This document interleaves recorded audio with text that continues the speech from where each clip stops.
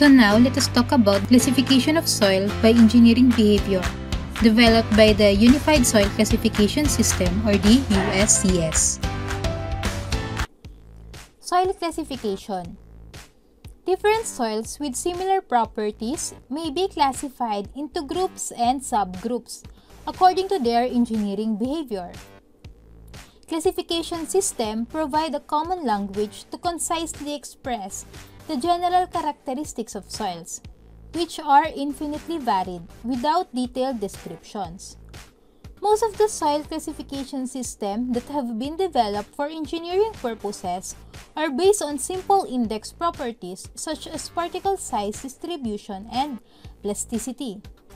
Although several classification systems are now in use, none is totally definitive of any soil for all possible applications because of the wide diversity of soil properties.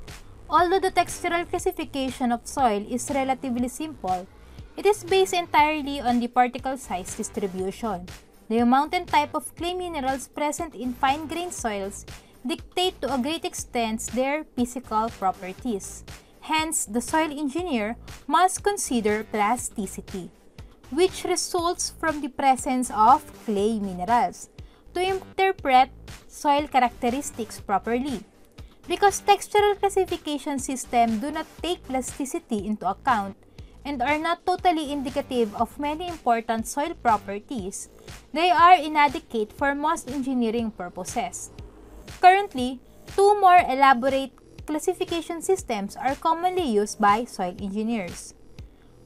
Both systems take into account the consideration of particle size distribution and other Atterberg limits, they are the American Association of State Highway and Transportation Official or AASHTO classification system and the Unified Soil Classification System or USCS. The American Association of State Highway and Transportation Official Classification System is used mostly by state and county highway department, while the USCS is generally preferred by the geotechnical engineers. So, the Unified Soil Classification System or USCS. The original form of this system was proposed by Casagrande in 1942 for use in the airfield construction works undertaken by the Army Corps of Engineers during the World War II. In cooperation with the U.S. Bureau of Reclamation, this system was revised in 1952. At present, it is used widely by engineers under the ASTM test designation D2487. This is the Unified Soil Classification System. Using this system, we only need to satisfy the requirements to identify the group symbol and the group name of our soil. We have coarse-grained soil with more than 50% of retained on number 200 sieve and fine-grained soil in which 50% or more passes the number 200 sieve. And this is the plasticity chart. Plotted the liquid limit and the plasticity index. We have the A line and the U line. So plotting the value of the liquid limit and plasticity index, here in our plasticity chart, we can identify the group symbol of our soil. And this is the flow chart for group names for gravels and sandy soil. And this is the flow chart for group names for inorganic, silty, and clayey soils. And also for flow chart for organic, silty clays, and clayey soils. Let us clarify some terms here in our discussion. Here are the pictures of the sieve. So this is the process of the sieve analysis in which the soil will be sieved into different diameters.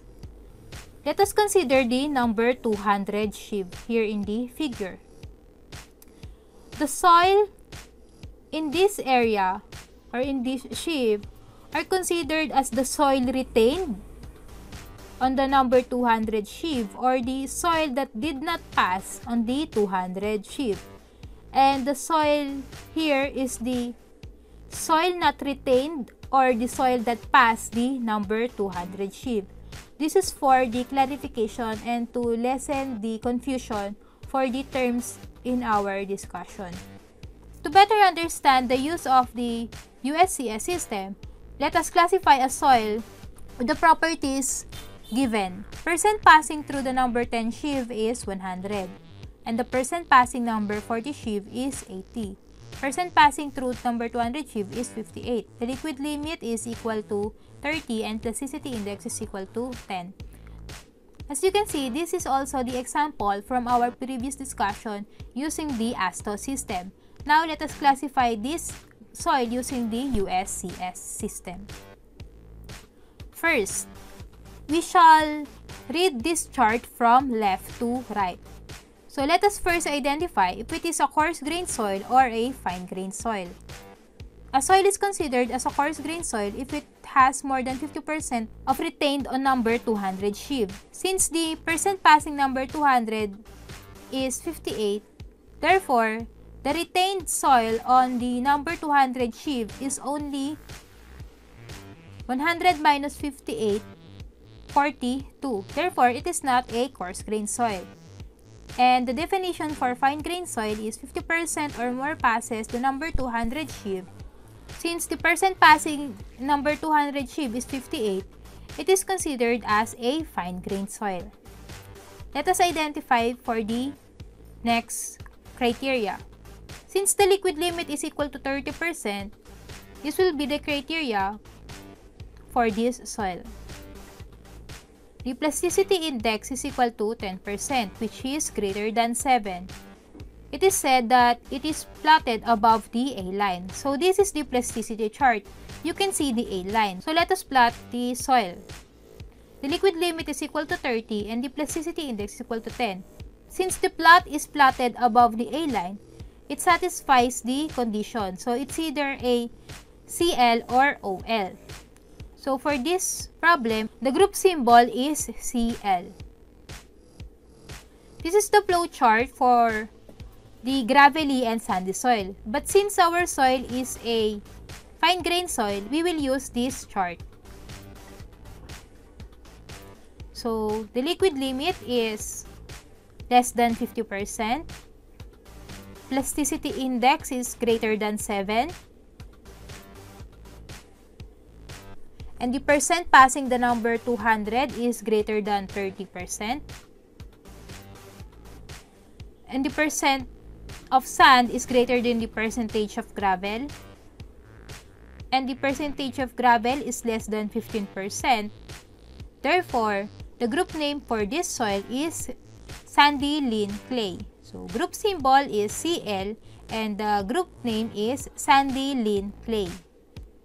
So, that is how we identify or we classify the soil using the USCS.